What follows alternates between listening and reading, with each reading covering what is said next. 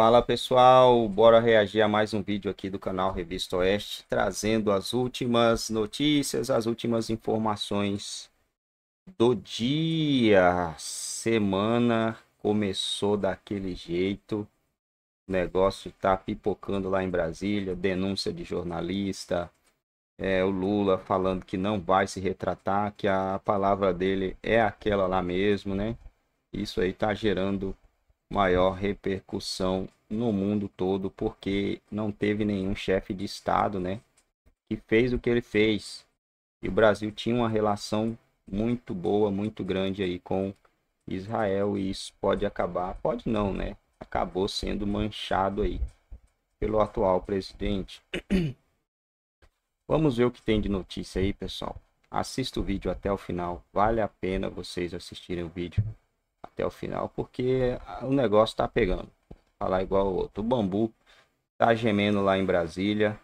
Deputados já começaram a, a falar, os poucos, né, que falam já começaram a falar a lascar a lenha aí no tudo que está acontecendo no nosso país. Jornalista português Sérgio Tavares, que esteve aqui com a gente essa semana e foi detido no aeroporto de Guarulhos na manhã do último domingo ao desembarcar em São Paulo para cobrir o ato convocado por Jair Bolsonaro, recebeu apoio dos portugueses em seu retorno ao país. No desembarque no aeroporto de Lisboa, o jornalista foi recepcionado por um grupo com bandeiras de Portugal e do Brasil e faixas que enalteciam a liberdade. O Oeste teve acesso ao depoimento de Sérgio na Polícia Federal. Apesar de a PF apontar em nota que o jornalista precisaria de visto de trabalho para cobrir o evento na Avenida Paulista, sendo essa a razão para a sua detenção, no interrogatório, Tavares foi perguntado apenas a respeito de temas relacionados aos seus posicionamentos políticos. Carlo Cauti. Ah, é, Joyce, é evidente que a PF cometeu uma ilegalidade, né? porque não é possível, não é permitido parar jornalistas da, da União Europeia que uh, queiram vir ao Brasil, em tempo máximo de 90 dias, para atuar como jornalistas pagos pelo seu veículo de origem, no seu país de origem, que era exatamente o caso Sérgio Tavares. A polícia podia perguntar isso, receber a resposta e liberá-lo imediatamente. Não tinha nenhum direito de perguntar para ele os seus posicionamentos políticos. Até porque o artigo 5 da Constituição, que prevê a liberdade de expressão, vale para todos que estão em cima do território brasileiro, não apenas para os cidadãos brasileiros, vale para os estrangeiros também que estão em visita no Brasil, não é uma liberdade exclusiva do cidadão brasileiro. E, além mais, a, a Polícia Federal emitiu uma nota que falava uma coisa, mas produziu um documento assinado pelo delegado que falava outra coisa. Um dos dois está mentindo ou o documento pelo delegado, que não, evidentemente não escreveu o que perguntou, ou a nota da Polícia Federal, que fala o que não foi perguntado. Como se fala em latim, tertium non datur, não existe uma terceira opção. Ou a polícia perguntou e não escreveu isso no relatório que foi entregue ao jornalista Sérgio Tavares, o que também é uma ilegalidade, ou a, a polícia não perguntou isso e colocou na nota algo que não foi questionado.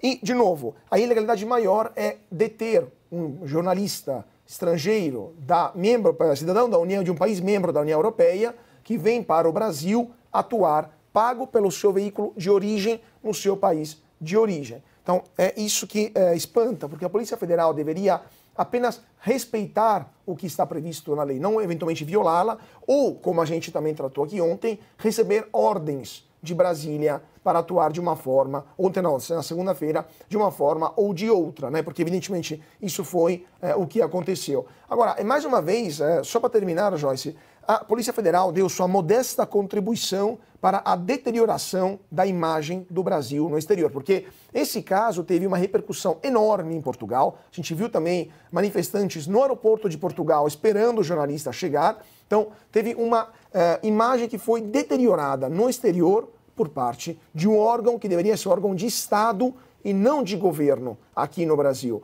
É, a, a, a, o cerceamento da liberdade de expressão é uma das nos, piores coisas que um governo, um Estado, um órgão público pode fazer. Isso pega muito mal onde a democracia é algo sacramentado, onde existe de verdade, como por exemplo na União Europeia. Então, mais uma vez, o Brasil deu mais um passo em direção da percepção por parte do resto do mundo que aqui não estamos em um regime democrático, e sim em um regime cada vez mais autoritário, onde até jornalista estrangeiro é cerceado na sua liberdade de expressão. Ana, gostaríamos de ouvir você também, dois minutinhos. Joyce, é, o Brasil voltou, que é o slogan né, de quem votou nesse Brasil, nesse Brasil que passa vergonha lá fora, passa vergonha no Brasil, é o Brasil antissemita, é o Brasil na vala da história, é o Brasil recebendo cartinha de agradecimento do grupo terrorista Hamas, de quem degola bebês e estupra mulheres, assassina crianças. É o Brasil que prende jornalistas por estarem simplesmente fazendo o seu trabalho, cobrindo manifestações democráticas, pacíficas, protegidas pela nossa Constituição. O que a gente fica se perguntando, uh, Joyce, porque essa turma que quis esse Brasil, a gente sabe muito bem a genética dessa turma e o que eles querem. Sempre falamos aqui, hoje falamos também do PL da censura. Mas e os outros que disseram que Bolsonaro e Lula eram a mesma coisa? Eu vou votar nulo, porque Bolsonaro e Lula é tudo igual, é tudo farinha do mesmo saco. É tudo antidemocrático. Aqueles conservadores de ocasião, liberais de ocasião, vem de curso, vem de livro sobre Constituição. Onde vocês estão? Agora, com um, um jornalista que foi detido pela Polícia Federal com perguntas muito estranhas, nada republicanas, nada democráticas. Cadê os signatários da tal cartinha pela democracia? Vamos salvar a democracia? Cadê o STF que fala sobre absolutamente tudo? Não vai falar nada sobre a detenção de um jornalista pelo fato de ser um jornalista alinhado com a direita em Portugal, no Brasil, no mundo? E a Polícia Federal, Joyce? Até quando vocês vão continuar cumprindo ordens ilegais, absurdas, inconstitucionais? Vocês são uma instituição muito querida pelo povo brasileiro, pela nação brasileira. Cuidado. Piotr, para fechar essa discussão. Não, rapidamente, a Ana Paula fez menção ao aumento do caso, dos casos de antissemitismo, denúncias de antissemitismo no Brasil, ah, depois da declaração ah, do presidente Lula, treinamento em escolas judias para ir para a sala segura, Agora a gente vê uma imagem de um jornalista que recentemente ficou detido no aeroporto de Guarulhos. Aliás, um desencontro de informações da Polícia Federal que, obviamente, denuncia o quanto que aquilo foi feito, sim, como ato persecutório, está muito claro. E agora a gente tem que conviver com a imagem de um jornalista português de volta a Lisboa, como se ele estivesse voltando da Coreia do Norte depois de ficar preso por um regime. Não, ele está voltando do Brasil veio cobrir um ato democrático dentro da Avenida Paulista. Agora a gente vê o Sérgio Tavares. É, essa imagem que você usaria se ele estivesse voltando, por exemplo, da Coreia do Norte, de Cuba. Não, ele está voltando do Brasil. E isso é muito preocupante. A, a, veja a que ponto chegamos. Né? Não bastasse a questão do antissemitismo no Brasil aumentar esse número de casos, que é uma coisa que não, mal se falava no país, a não ser para discussões de aula de história. Desde aí veio tudo esse, todo esse movimento da declaração do presidente que é incapaz de olhar para o genocídio que foi cometido pelo Hamas e chamar o Hamas de genocídio e terrorista de verdade, assim, requerer a, a libertação dos reféns, inclusive do brasileiro que está lá, que o governo brasileiro deveria se esforçar ainda mais, ou pelo menos explicar à população o que tem feito e o que não conseguiu ainda êxito. É o mínimo que tem que dar, dar explicações à cidadania brasileira. Ah, depois, tudo que nós estamos vendo agora. E agora nós estamos vendo um jornalista português, parece que ele foi libertado de uma prisão da Coreia do Norte. É, não, ele está voltando do Brasil. Quero fazer um convite para você logo depois de A Força do Agro. Você assiste aqui nesse mesmo link no canal da Revista Oeste e também no Umbrella Media, que é nosso canal aqui no YouTube, a mais um episódio do programa De Zero a 100 com Saúde, que vai desvendar os caminhos da longevidade. A Adriana Reide deixou um recado para gente. Olá, você que acompanha o Oeste Sem Filtro, de 0 a 100 com saúde, recebe hoje a doutora Nira Irênio, dermatologista. Falamos sobre diversas questões de pele e cabelos, não foi, doutora? O programa está super legal e vale conferir todas as dicas dermatológicas. Esclarecedoras, aliás. Não perca a partir das 8h30 nos canais Umbrella Mídia e Revista Oeste no YouTube. Então fica a dica, inscreva-se no canal da Revista Oeste, no canal Umbrella Mídia no YouTube e assista de 0 a 100 com saúde e também a força do agro. Em São Paulo, nesta semana, o ministro Alexandre de Moraes, do Supremo Tribunal Federal, voltou a defender a regulamentação das redes sociais e a responsabilização das empresas de tecnologia. Em uma palestra na Faculdade de Direito da USP, o magistrado fez referência à luta entre o ex-pugilista Popó Freitas e o fisiculturista Kleber Bambam no último fim de semana, para falar a respeito do fortalecimento da democracia. Nós não podemos nos enganar, nós não podemos eh, baixar a guarda, eh, não podemos dar uma de bambam contra o Popó, é, que durou 36 segundos. Nós temos que ficar alertas e fortalecer a democracia, fortalecer as instituições e regulamentar o que precisa ser regulamentado. Moraes criticou as opiniões contrárias à regulamentação das redes sociais. Nós não podemos cair nesse discurso fácil de que regulamentar as redes sociais é ser contra a liberdade de expressão. Isso é um discurso mentiroso que pretende propagar e continuar propagando o discurso de ódio é a lavagem cerebral que é feita em milhões e milhões de pessoas. Ele fala nós no coletivo, deveria ser a todos nós, né, Pioto? Mas só que vindo dali a gente sabe que Mas o nós lá. não existe. É, regulamentar a liberdade de expressão, que é isso que eles estão fazendo. E vamos lá. A Constituição brasileira, ela tem princípios e regras, né? Princípios, você, obviamente, é um, um caminho por onde você pode seguir. Então é o que se chama de direito principiológico. Você aplica aquilo, né, e vai caminha dentro daquilo e toma uma decisão. Regra não. Regra é clara. Tanto que a liberdade de expressão é uma regra que está no artigo 5 e o artigo 5 é uma cláusula pétrea da Constituição. O ministro está sugerindo aí que ele, vamos regulamentar então a liberdade de expressão, o que pode e o que não pode. Até porque me parece e me chama a atenção que o ministro está ignorando que a própria Constituição tem remédio para as coisas, todas que podem acontecer. Por exemplo, a Constituição veda o anonimato. Está muito claro na Constituição. A Constituição não permite. Então, se você fizer alguma afirmação e você não se identifica, e uma vez que é identificado por uma investigação, você vai responder porque você se tornou anônimo, sendo que a Constituição é contrária a isso. A Constituição prevê, por exemplo, os crimes de honra, reparação nos crimes de honra, calúnia, difamação, injúria. Está tudo muito claro ali. Ou seja, se você também incute um mal a alguém desproporcional, também está escrito na Constituição, mas tudo isso tem que obedecer o devido processo legal. Não pode estar no inquérito sigiloso, tem que ir para a primeira instância, a menos que a pessoa tenha foro privilegiado. Não é o caso da maioria das pessoas. Quem está, por exemplo, concorrendo a uma eleição pode ser julgado ali no TRE, no caso, né? depois pode ir para um caso, num, num, num recurso ir para o TSE. É, não se pode regulamentar a liberdade de expressão, ela é uma cláusula pétrea. Claro que o ministro sabe disso, óbvio. Mas a minha pergunta, o que eu queria entender, é, é me, me perguntar o que dizem os juristas ali, os professores ali da Universidade de São Paulo, quando ouvem isso? Eles concordam com isso?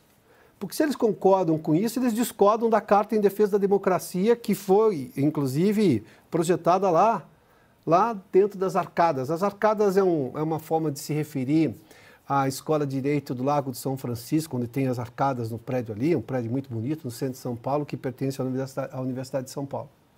Porque aquela carta defendia o Estado democrático de direito. Está tá textualmente escrito isso. Eles concordam com isso? É, é preciso que.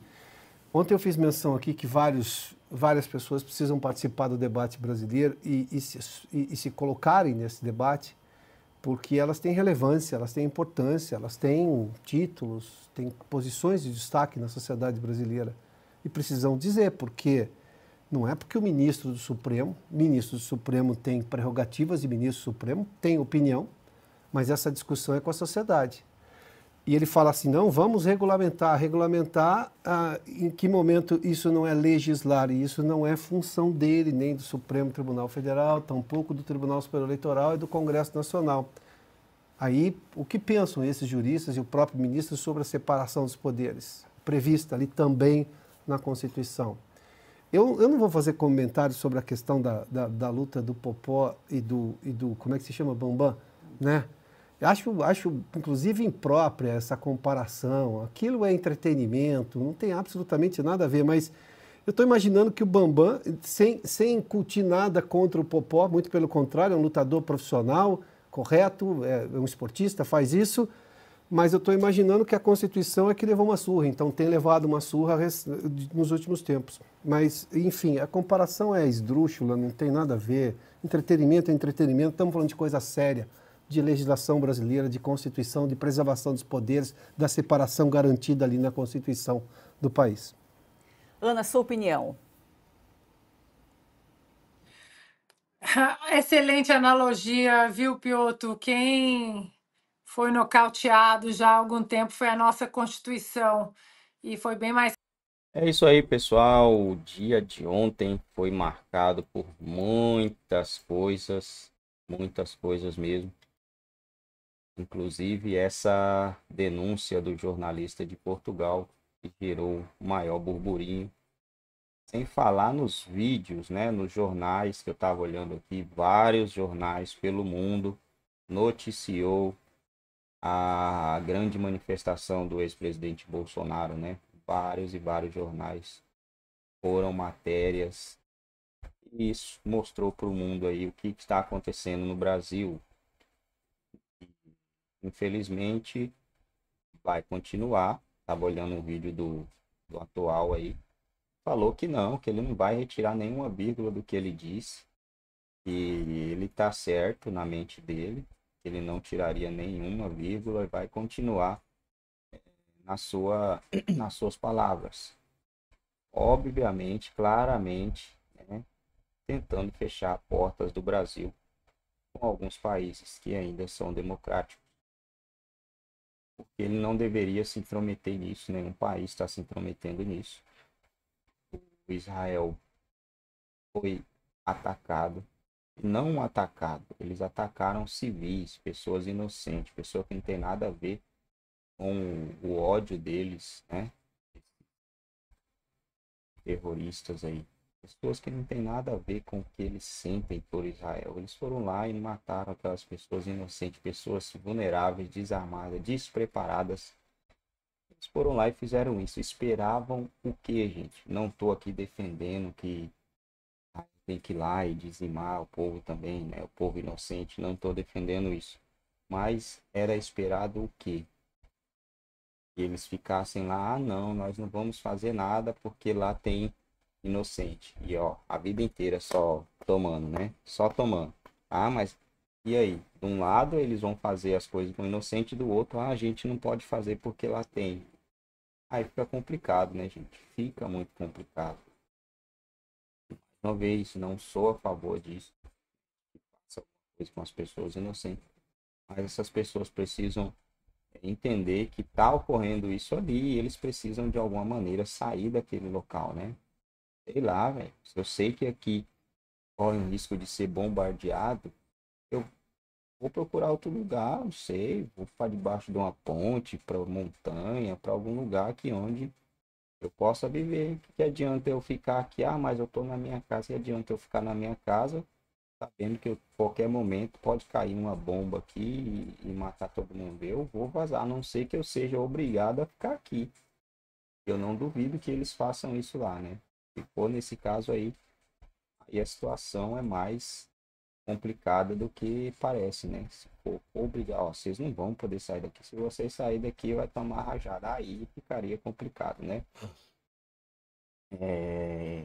Deputado capitão Assunção foi preso pela PF por ordem do STF. Mais uma vez. Mais uma vez. E aí vão prender quem eles achar que devem, vão fazer o que achar que devem, porque o legislativo está de joelhos. Muita emenda, muita emenda. Como o Nicolas disse, né? O que ele mais ouve nos corredores é falando de emendas, emendas daqui, emendas dali, emendas, emendas, emendas. Enquanto isso, a população vai pagando é, o pato.